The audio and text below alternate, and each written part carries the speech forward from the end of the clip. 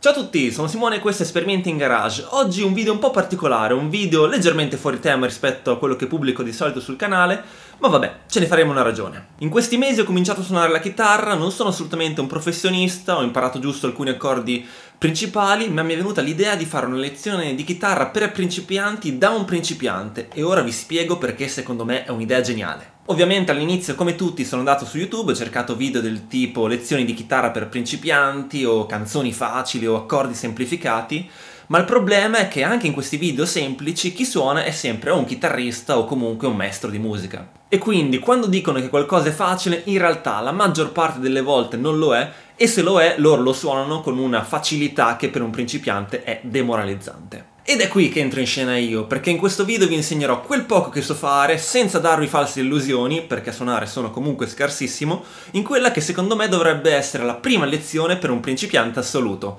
ovvero il giro Covid. Innanzitutto un po' di storia. Perché si chiama giro Covid? Allora, io ho cominciato a suonare la chitarra insieme a mio fratello, e cercando dei giri di accordi facili su internet ci siamo imbattuti in questo giro che contiene l'accordo Do ad 9, che in notazione in lettere diventa C ad 9 quindi era scritto CAD, mio fratello legge COD, io capisco Covid perché in questi mesi non si parla d'altro e quindi è diventato il giro Covid. La cosa più bella del giro Covid è che anulare e mignolo vanno nella prima e nella seconda corda, terzo tasto e vanno lasciate lì per sempre, non vanno mai cavate, quindi voi suonate, le lasciate sempre lì e alla fine vi verranno due bei solchi nei polpastrelli. A parte i solchi però questa è una grandissima comodità perché rimangono solo l'indice e il medio da muovere e inoltre si muovono sempre tra il secondo e il terzo tasto, quindi sempre molto vicini, comodi, facilissimi. Allora, gli accordi sono Do, che in realtà è un Do ad 9,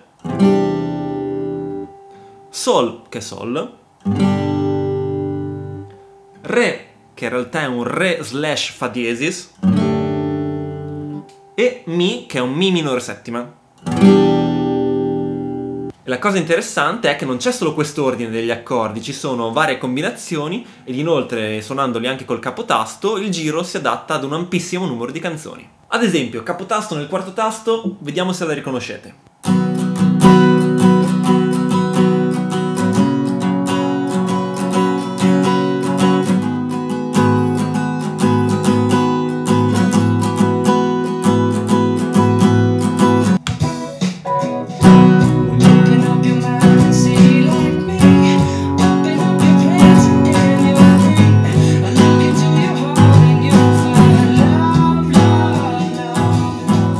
Altra combo col capotasto nel primo tasto.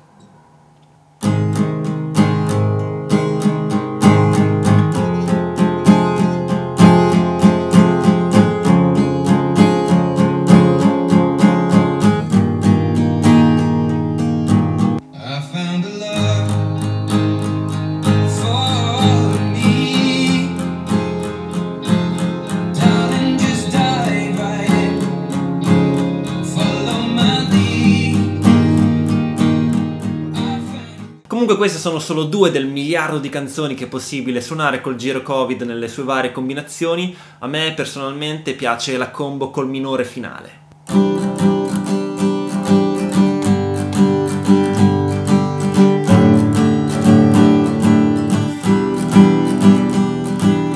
Quindi questo è il giro Covid, secondo me è il più facile che ci sia, è anche super versatile in varie combinazioni, secondo me è il primo giro che si dovrebbe insegnare ad un principiante che si avvicina alla chitarra.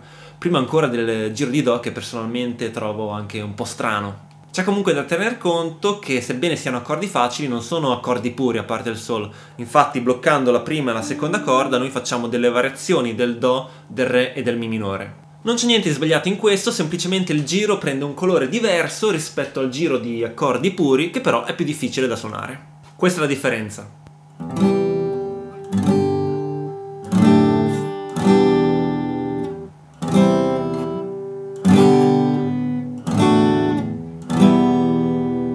Insomma, siamo arrivati in fondo anche a questo video e per me è stata una sudata pazzesca perché ogni volta che vedete che ho suonato una cosa in realtà l'ho fatta almeno quelle 15-20 volte e quindi vado a farmi una mega doccia e vi do appuntamento al prossimo episodio di Esperimenti in Garage. Ciao ciao!